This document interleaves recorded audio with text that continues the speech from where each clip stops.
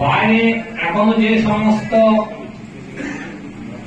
আমাদের সক্রিয় কর্মীবৃন্দ এখানে ওখানে দাঁড়িয়ে অযথা সময় নষ্ট করছে, তাদের সকলকে আমি বলব, আমাদের এই কমিউনিটি প্রেক্ষাকে এসে উপস্থিত হয়ে হওয়ার জন্য। আমরা, আমি জানি আপনারা অনেকক্ষণ থেকে এখানে দীর্ঘক্ষণ ধরে অপেক্ষা করছেন, তাই আমি আর সময় অতিবাহিত না করে আমি যে কয়েকজনের নাম ঘোষণা বন্দে ভারত মাতাকে দিল্লির নেতা আসবেন, ঠিক আছে? মোদিজির শিষ্য সর্বভারতীয় আমাদের সভাপতি জেপি নাড্ডাজি, উনি আসবেন পনেরো তারিখ। আপনারা সবাই যাবেন। ম্যাক্সিমাম লোক নিতে হবে। যুব যুব নেতা, যুবকদের সারাক্ষণ উজ্জীবিত করে চলেছে। শ্রী এছাড়াও আমাদের মধ্যে উপস্থিত আছেন পাশের দুঃখে সমস্ত কিছুতে সাহায্য করে শ্রীমতী মিনা রাজুয়ার মহাশয়া। প্রজেক্টের রাস্তা হচ্ছে। কেন্দ্রীয় সরকার করছে। আর এরা বলছে যে আমরা করছি। জল জল জীবন মিশনের জল পান তো সবাই পাইপের মাধ্যমে চালু হয়নি। রাজ্য সরকার দেরি করেছে। জল জীবন মিশন আমার রাজ্যে বা সারা দেশে রয়েছে। আপনারাও পাবেন, দেরি হচ্ছে হয়তো। কেন্দ্রীয় সরকার দিচ্ছে সারা দেশে প্রতি বাড়িতে জল পিএমএ আবাস ঘর পাইছেন নি ঘর? ঘর ঘর। আপনাদের নাই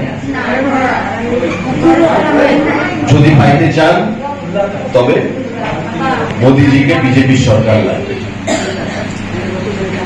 বিজেপি সরকার ছাড়া মোদিজি বলেন কি, হার ঘর মকান, প্রতি বাড়িতে আমি মকান চাই, আমাদের মায়েদের জন্য।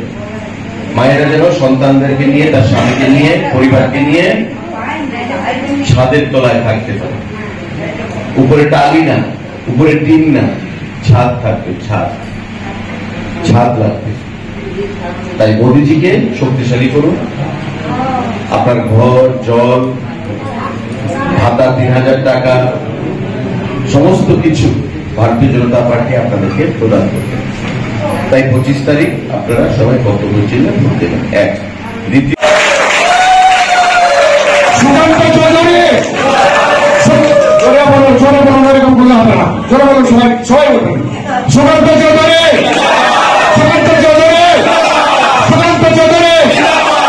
সবাইকে আমার প্রণাম আমি আমার আমাদের সরকার আসার পর সেটাকে সিপিআইএম সরকার ছিল আগে। আমরা সাতশো করি তারপর এক হাজার করি এবং এখন এটা দু হাজার হয়ে গেছে। দু হাজার খবর নিয়ে দেখবেন যদি আত্মীয় স্বজন থাকে হুম? সবাই দুই হাজার। আহ্বান জানাব যে কেন বিজেপি সরকারকে আবার দিল্লিতে প্রতিষ্ঠা করতে হবে এবং এই রাজ্যে জনবিরোধী যে তৃণমূল কংগ্রেস, তাকে কেন পরাস্ত করতে হবে? কেউ গেছেন এখানে ত্রিপুরাতে, কেউ কখনো যাননি। যাবেন। ত্রিপুরাতে যাবেন, ঘুরবেন। আপনাদের মতো এত বড় রাজ্য নয় আমাদের। পশ্চিমবাংলার মতো তো বড় নয়, ছোট রাজ্য। আমাদের ভাষা, আমাদের খাদ্য, আমাদের সমস্ত কিছু, সংস্কৃতি, আমাদের আবেগ এবং রাজনীতির ধরন সবটাই একই রকম। যারা মঞ্চে উপস্থিত আছেন, আপনাদের প্রিয় এবং এই এলাকার জনপ্রিয় বিধায়ক বিবেকানন্দ বাবু উপস্থিত আমার ডান দিকে এসসি মোর্চার জেলা সভানেত্রী মামুনি বাবুজি আছেন এই মন্ডলের সভাপতি। আমাদের অন্যান্য নেতৃত্বরা যারা আমার ডান দিকে আছেন, মহিলা মোর্চা এবং আমাদের বিভিন্ন স্তরের নেতৃত্বরা। কাউন্সিলর নাই দিনেশ